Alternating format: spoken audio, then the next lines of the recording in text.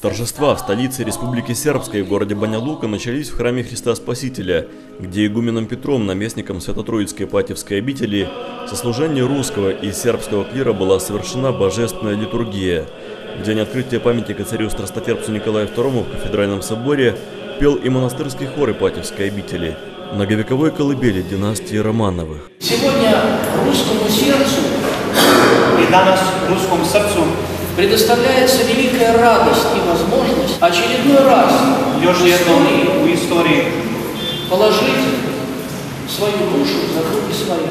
Баня Лука стала первым городом в Европе, которому выпала честь открыть памятник царю страстотерпцу Николаю II.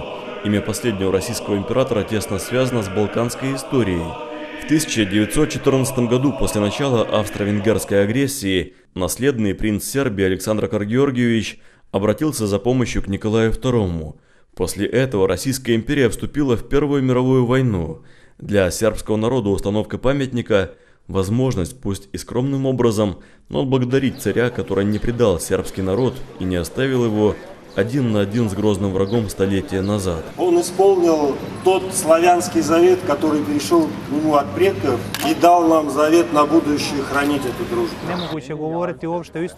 Невозможно говорить об истории сербского народа, не рассматривая историю народа русского. Для нас всегда были важны и значительные духовные, культурные, экономические, политические связи с Россией. Открытие памятника царю Николаю II имеет особенное значение, потому что здесь мученическая земля прежде всего, а пример царя Николая II дает нам мужество и осознание того, что наша жертва и мученичество, которое мы пережили здесь в течение нашей Отечественной войны, имеет свой смысл и свое значение.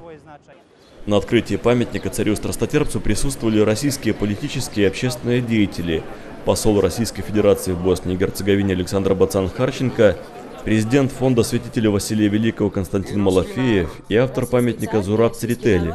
Открывали монумент Николаю II непосредственно президент Республики Сербской Милорад Додик и помощник президента Российской Федерации Игорь Щеголев. Осветил памятник епископ Баня Лукский Ефрем. Наверное, не все из вас знают, что это первый памятник Николаю II, который строится в Европе с момента его гибели. Сегодня Константин уже сказал, что и в конце 20 века русские тоже сражались вместе с сербами плечом к плечу. Нам была очень дорога та поддержка, которую сербы оказали э, движению в Крыме. Это возможность для сербского народа частично отдать долг великому царю, русскому народу и государству за поддержку, которую мы от них получаем в решающие дни.